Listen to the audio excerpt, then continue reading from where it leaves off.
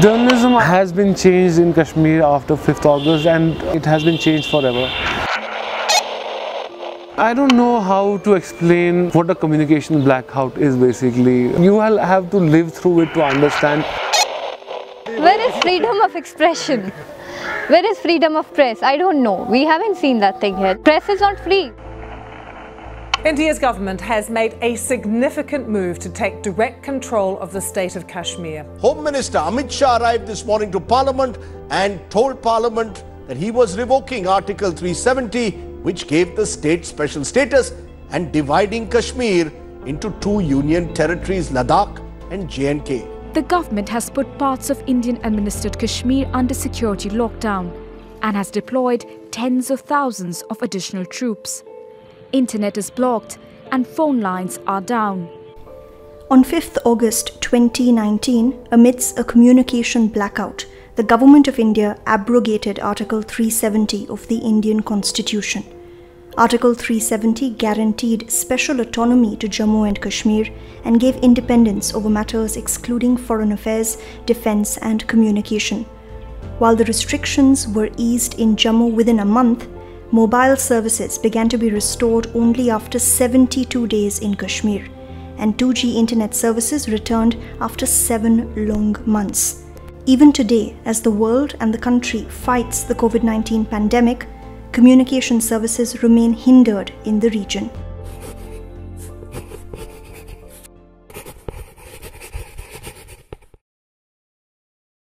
You know, just a week before Article 370 was uh, removed, there was chaos in Kashmir. A lot of confusion and different theories were being floated. It was apparent something big is going to happen. People were stockpiling, they were buying medicine, rushing away to petrol pumps to get their cars filled with fuel. Troops were fanned across roads. Even as a journalist, I was not aware up to 11 am.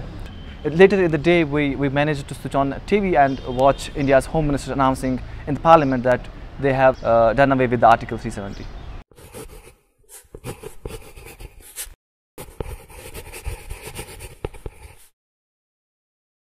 There was no communication.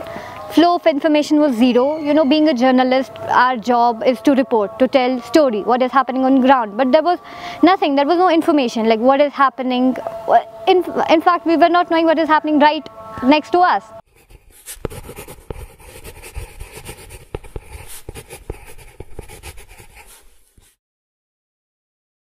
The national and the international media uh, gave more coverage uh, at that time to the development than the local media. If a researcher come to Kashmir and try to find out through local media what was happening, they will not find anything. It was as if after 5 August nothing happened here. That black hole that exists now in that period, it is something which is going to have ramifications which are beyond our comprehension.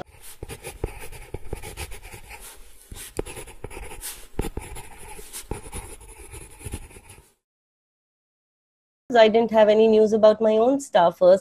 I was worried about their own safety, uh, knowing what Kashmir is and uh, gradually learning that, you know, massive arrests have been made. So these were some of the anxieties and concerns in my mind when I went to court.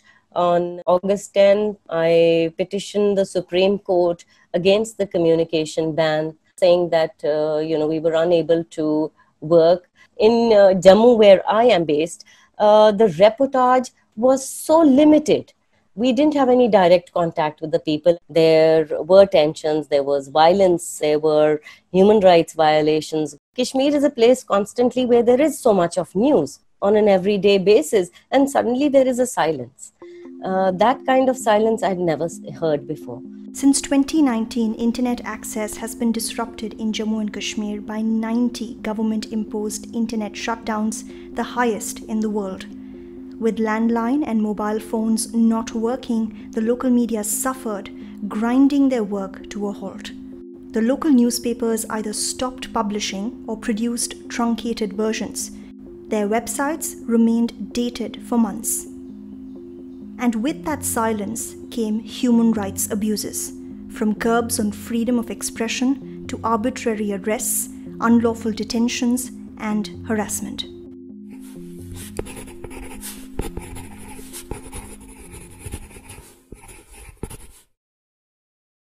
We are uh, faced with undeclared censorship in the sense that they create situations wherein it becomes difficult and sometimes even impossible for journalists, for reporters to work. After 5th of August uh, last year, we had to go to the media center and for months we operated from there only and initially with just four computers which were connected with internet and out of those four, one was being used by the information department.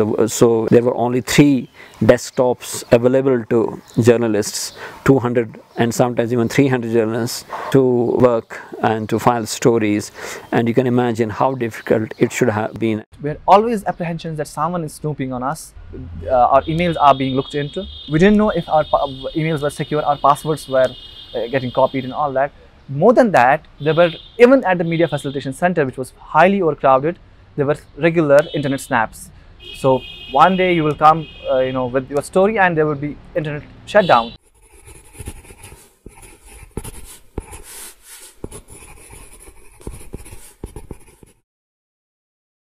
The first two weeks after August 5 have uh, been a life-changing, or probably I should say it, it forced me to give a second thought whether journalism in Kashmir is a good option for a profession. Journalism in Kashmir has completely changed because of course, you have to think 10 times whether my reporting is going to perturb somebody or it's going to disturb somebody or am I going to speak truth?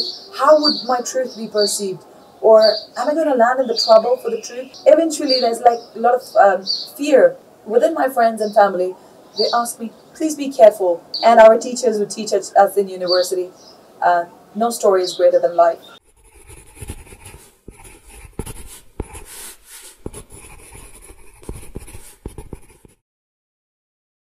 Sometimes you are trying to cross heading towards your office you have a couple of cameras hanging on your shoulders but still you have to convince a cop that you are a journalist and at that moment he will be like you have passed okay you, you are allowed by district magistrate or you are allowed by any authority but right now i'm the authority. What you are going to do? I don't i don't i mean no authority. Like you can't call a district magistrate on the spot and ask him that your cop is not allowing me. He has given you a pass an atmosphere uh, develops where you're being made conscious and cautious. You're being cautioned that you have to be careful about what you're reporting, even if that is the truth. But you still have to be careful. And you have to rephrase and present the truth in a different dimensions rather than hitting straight to the target. We were shooting somewhere in downtown when these forces came and they asked us to delete our footage. There, they were like, open your camera and delete it. Most of the journalists like who were with me, they delete the footage, but I somehow managed. I just took that memory card off from the camera and I just, you know, hide it in my pocket. So, yeah, there are these things which are happening. That too on ground, like just in front of you these things are happening. You have to keep going with it. Even after relaxation of restrictions, the threats to free press in Jammu and Kashmir have only escalated. Many journalists were assaulted, and Azaan was one of them. He was physically assaulted while attempting to cover a story at Srinagar's Islamia College of Science, where a student protest was underway. There was like a 6 10 second clip where I was being thrashed. I think there's a lot that happened before that 10 second clip and after. There were rumors that were floating that there, there is just like how politicians were detained, how activists and lawyers were detained. But there were rumors that uh, journalists will be picked up eventually. Once we started to report and uh, there, some reports were contrary to the claims made by government. We were thinking that there might be a reaction someday, but I didn't anticipate it will be uh, me being beaten. I got a couple of uh, calls from officials saying the reports that you're filing are, uh, you know, they are, they are not needed. Naturally, when I got beaten, I thought this is a product of that. When you when there is no accountability for such an incident, it only emboldens uh, the, the forces here. But it's been seven months and uh, we've not seen any action. And I, honestly, I don't also expect uh, any action to be taken in the near future. Many journalists in Jammu and Kashmir have faced harassment and intimidation, but most don't speak out due to fear of reprisal. Several journalists have been booked under repressive laws such as the Public Safety Act and Unlawful Activities Prevention Act, adding to the paranoia and instilling fear in others.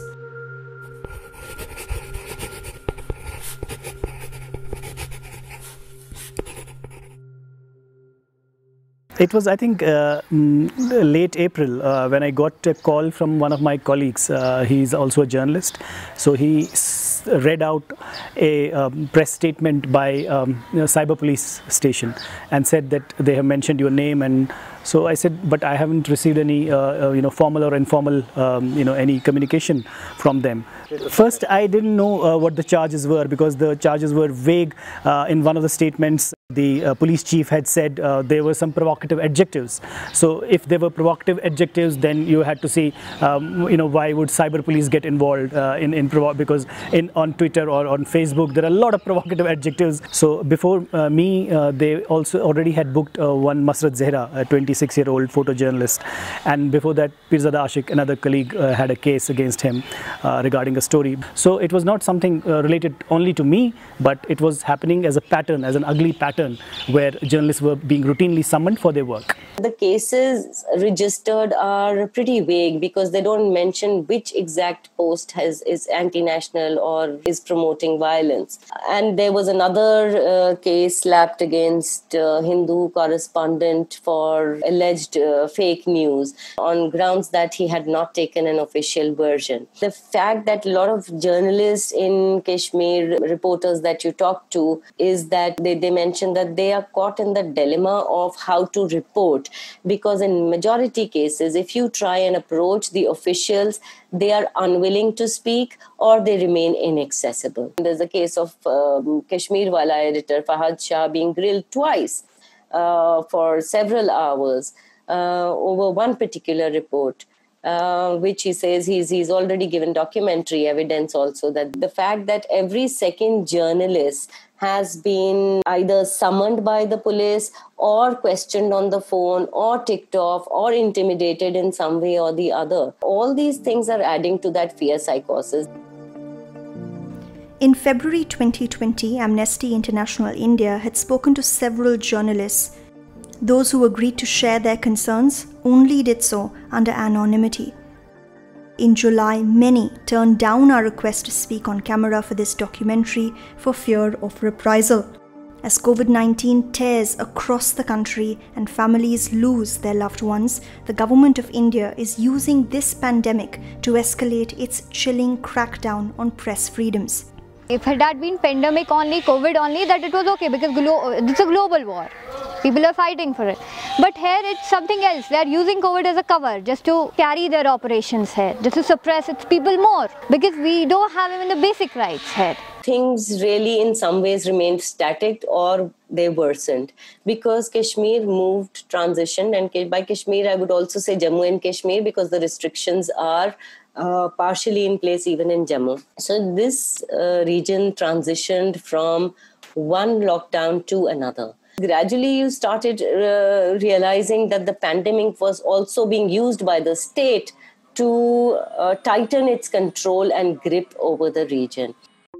In the middle of COVID 19, the Jammu and Kashmir administration introduced a new media policy in the region the draconian and punitive policy openly aims to create a sustained narrative on the functioning of the government in media by checking on anti national activities, fake news, and plagiarism they have said in this media, new media policy that if you don't follow these directions or if you violate the guidelines or the criterion that they have put there in that media policy uh, that may lead to denial of advertisement support to you apart from sharing that information with the security agencies. Because the main revenue uh, for local newspapers comes from government through advertisements. So that's that's a big big big problem Kashmir has been turned into a union territory, the only union territory where I see the rules are different. You are being told as an organization that you will have a free flow of advertisement only when you post whatever the Directorate of information or the government source is going to tell you. There's no space for uh, reporting the other side of the story and those who report the other side of the story land up in uh, being summoned by police or land up being questioned for their Facebook posts or their remarks.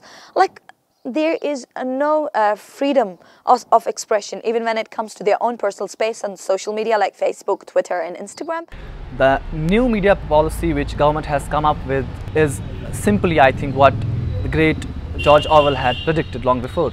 Government wants their side of the story to be told. If it goes against them, they want that to be labeled as anti-national or fake news. The question is who will sit judge on that and who will decide uh, you know which uh, news or which write-up is anti-national and which is not and which uh, news is fake and which is not and uh, you know who will decide on the ethics if, if things continue as they are, the crackdown or the intimidation, the threatening, I don't think there will be any journalism personally. It will just be another arm of the government just giving out press releases. I personally think that if this continues, um, a lot of people are going to break. When the New York Times uh, organizations like Washington Post, Independent and Guardian, you know, the world's best newspapers, Wall Street Journal, when they wrote about Kashmir, so there were people from the police who uh, termed that as fake news. So that's it. With oppressive curbs on freedom of movement, expression, and opinion, it has been a challenging one year for journalists in Jammu and Kashmir. But a small beacon of hope glimmered in May 2020 when three local photojournalists were awarded the prestigious Pulitzer Prize in Feature Photography. Welcomed by the local journalists in the region, the work of the winners has also been termed as anti national by political leaders in India. It has uplifted our spirits. Also, it's a message to the state and the other institutions which are intimidating journalists and it's a vindication of that journalists in Kashmir are doing are thorough professionals and they are uh, discharging duties very very professionally and which is highly appreciated by the journalist bodies across the globe. This is such a big thing for us, like for Kashmiri journalists in particular, because what Indian media or India is saying that everything is normal. They are not acknowledging the struggle of people here. But international audience did. International people out there know what is happening. They are acknowledging it and that matters to us. Freedom of press is crucial for holding institutions accountable and the present situation raises grave concerns of human rights violations that may occur yet and could remain unreported due to government of India's near total control over information coming out of Kashmir. The misuse of repressive laws and ushering in of far-reaching policies is resulting in journalists policing themselves in fear of offending the authorities and the government engineering and pushing its own narrative. These brazen attacks on free expression stand to effectively silence the truth. After August 5th, we had several moments where you felt that it's only the government which is able to put out its narrative through uh, different uh, people, whether it was the uh, National Security Advisor Ajit Doval in the first few days, moving around on the empty curfewed roads uh, with everything shut down and sharing a meal with people. You know, when that uh, European delegation came, they were brought in and uh, there was a you know guided uh, tour of uh, kashmir valley. No media was allowed to uh, go and report or uh, meet uh, the european delegation and find out for themselves or or cross question them. Who did they meet? Only select gr group of people were allowed to meet them invited to meet them. It was not open to every journalist. If you talk about accredited journalists i have been an accredited journalist for the last 35 years who are the accredited journalists who are invited to these uh, you know press conferences and you know uh, with whom you share uh, things? I would like to know. Right now it's it's uh, it's a very challenging challenging situation uh, as I said, even even the stalwarts of polit political class in Kashmir, like Dr. Farooq Abdullah, when Farooq Abdullah does not talk politics, that should tell you that how bad the situation is. If there is a political party right now in Kashmir, it is the J&K police, because only the police officers are writing articles and they are being published in various uh, you know news media organizations, and they they have the freedom uh, to speak. They have the freedom. They have freedom of speech and also freedom after speech. But as journalists who are supposed to write and speak, they have neither freedom of speech nor freedom after speech. One year since the decision on Article 370, the climate of fear in Jammu and Kashmir is undeniable. The oppressive silence that lingers in households and empty media offices are just the side effects of a paralyzed local media. Amnesty International India, during its research, found that the reality on the ground in Kashmir is very different from the narrative of normalcy set forth by both the government and mainstream news in India. There is only one message the government of India wants to share with Kashmiris and the world everything is fine. It's time for the government of India to stop its clampdown on freedom of press in Kashmir. It's time for the government of India to let Kashmir speak. अपना तो काम है जलाते रहे चिराग। रस्ते में चाहे दुश्मन या दोस्त का घर मिले। शिकवे जुल्मत शब से तो कहीं बेहतर था अपने हिस्से की कोई शमा जलाते जाते।